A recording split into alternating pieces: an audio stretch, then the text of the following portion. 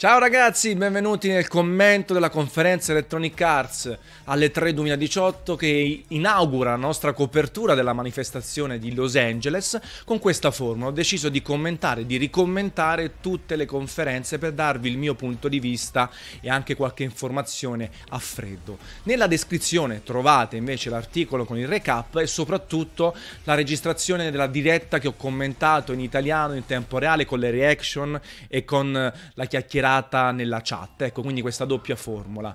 Una conferenza Electronic Arts da 6,5-7, ecco, con bei momenti e momenti morti, soprattutto rappresentati da Command Conquer. Quindi darei un 7. Va, scrivete voi nei commenti se siete d'accordo o vi è piaciuta di meno. Una conferenza che ha il protagonista assoluto in Anthem, lo vedete in questa particolare introduzione. Però torniamo un attimino indietro, parliamo dei giochi più interessanti a partire chiaramente da Battlefield 5, già mostrato un paio di settimane fa, ambientato nella seconda guerra mondiale, durante la conferenza eh, è stato mostrato ulteriormente per ricordare che sarà un gioco altamente spettacolare eh, nel quale ad esempio vedete come in questo caso le armi possono essere trasportate in giro per la mappa di gioco e c'è un'ampia distruttibilità dell'ambientazione classica di Battlefield forse anche migliorata rispetto al passato rispetto agli ultimi capitoli che erano tornati un po' indietro grazie all'evoluzione del Frostbite Engine di DICE che sicuramente è uno dei motori grafici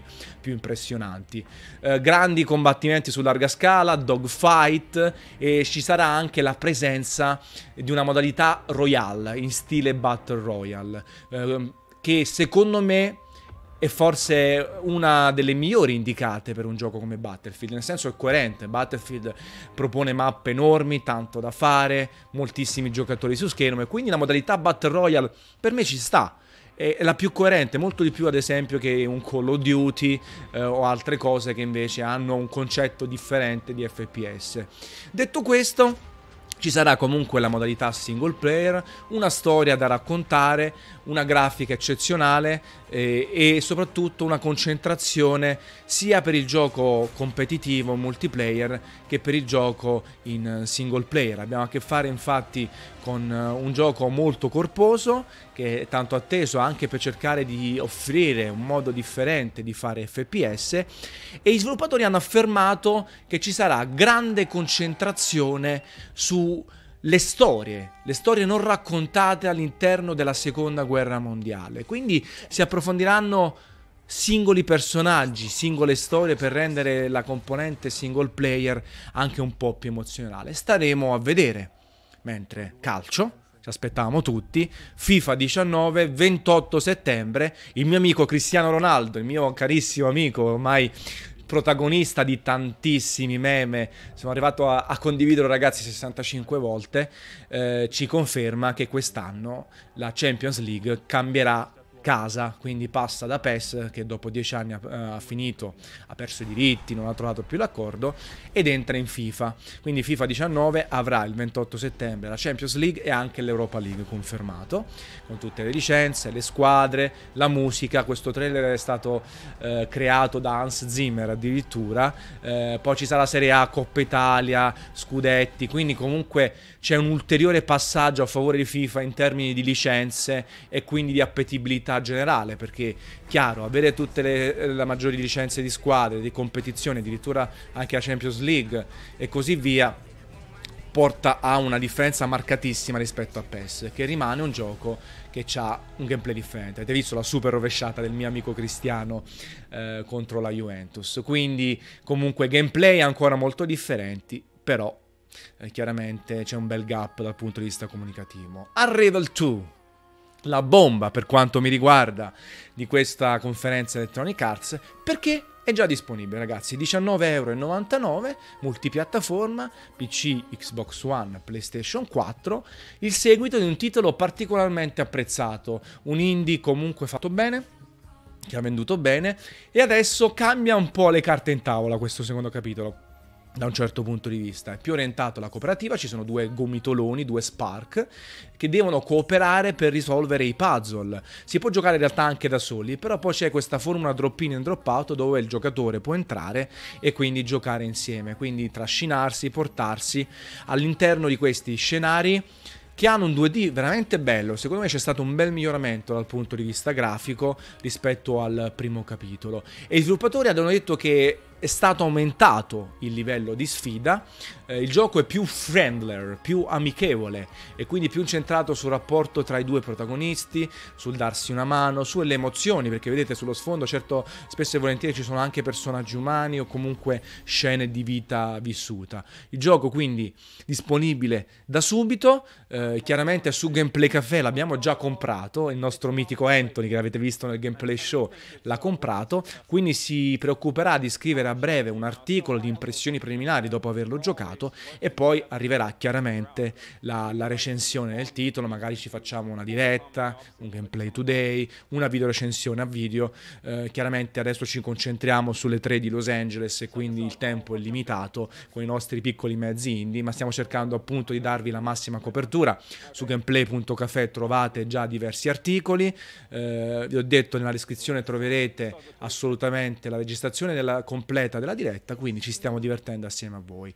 Sea of Solitude, sviluppato da Joe May, fa parte degli Indie Originals, mi ha ricordato un po' Gravity Rush Journey come atmosfere e parla di questa ragazza giovane, Kay, che è stata sopraffatta dalla solitudine e quindi si è trasformata in un mostro. Si trova in questo oceano dove ci sono altre persone sopraffatte dalla solitudine e magari interagendo con loro, conoscendole, può ritornare normale. In questo che sembra essere un'avventura esplorativa, magari con qualche puzzle, molto ispirata dal punto di vista artistico.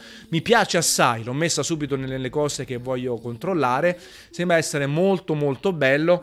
Uscirà inizio anno prossimo e quindi è uno dei giochi da tenere in considerazione. Chiaramente non è un AAA, non è di appeal enorme, però è molto molto interessante, quindi approved da Antonio Fuscito.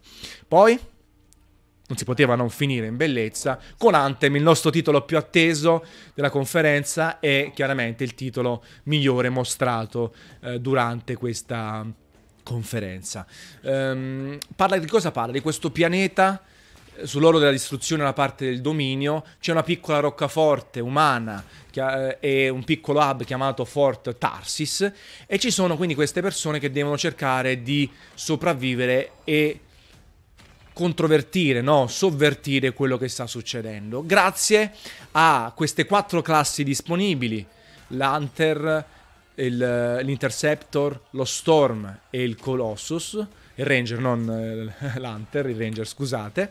Queste quattro classi che possono poi muoversi a piedi oppure utilizzare i Javelin, queste exosuit che gli permettono di muoversi in verticale, di volare e di esplorare più velocemente l'ambientazione. Questa ambientazione prettamente ostile, eh, prettamente eh, difficile da affrontare, in un gioco che a detta di BioWare, c'è stato vedete questo QA, sarà molto ambizioso. Loro hanno potuto quindi lanciare questa nuova proprietà intellettuale, questa nuova IP, come si suol dire, scrivendo da zero tutto il mondo di gioco, l'ambientazione, tutto quello che c'era nella loro mente e ehm, creando, volendo creare un GDR con struttura open world, ma perennemente connesso online, quindi nel quale c'è questa sorta di integrazione tra offline e online. Si può giocare da soli, si può giocare in cooperativa e questo sarà una scelta, ragazzi, non sarà eh, come dire la cosa consigliata. Chiaramente giocando in cooperativa con gli amici sarà più divertente, eh, certo, al 100%, però si potrà giocare solo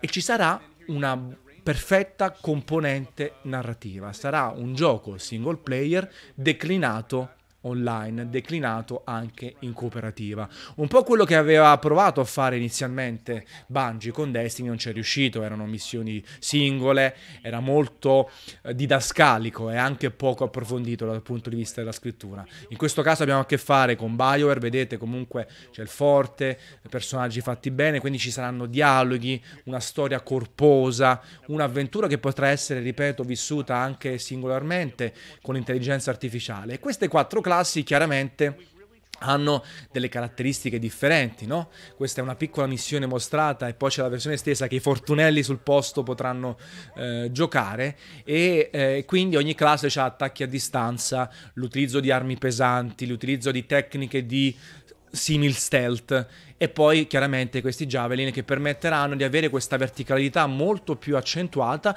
per un gioco che graficamente a me piace assai, è chiaro, c'è uno stacco tra le sequenze eh, non interattive e quelle interattive. Però il gioco è molto bello dal punto di vista artest- artistico, grande effettistica, bella profondità visiva, molto ispirato, distruttibilità, una buona fisicità per quanto riguarda i combattimenti e questo è sempre molto interessante. Vedete l'AD con la bussola in alto, l'arma primaria e secondaria in basso a destra, questi grandi eh, nemici a me eh, interessa molto molto e quindi chiaramente lo metto assolutamente tra i titoli che attendo di più. Uscirà PC, che questa è la versione mostrata chiaramente con supporto 4K a 30 fps, PS4, Xbox One il 22 febbraio 2019, la stessa data di uscita di Days Gone. Probabilmente uno dei due verrà leggermente spostato, sarebbe un po' un suicidio, due titoli molto attesi uscire in contemporanea. Quindi non è tanto lontano nel tempo, no? Otto mesi, eh, ci saranno le rifiniture, di scrivere tutto, però ho grandi aspettative perché se davvero BioWare, che io sono, che apprezzo molto, riuscirà a fare un gioco dalla qualità di un Dragon Age, esempio, no? Ma con una componente cooperativa, una modalità OS online, quindi la possibilità di interagire con altre persone, amici e utenti, avrà proprio sbancato il lunario. Ecco, questo è quanto. Una conferenza, dicevo, Electronic Arts da 6,5-7, il momento tristissimo di Command Conquer, lo Star Wars di Respawn che potrebbe essere il vecchio di Visceral, dove si eh, andranno a definire i, ge- i, Jedi. Quindi trovate nella descrizione tutto quanto, la diretta, la replica della diretta, scrivete nei commenti cosa ne pensate anche di questa forma del commento e noi poi ci vediamo con le prossime conferenze. E il 3 2018 anche su Gameplay Café.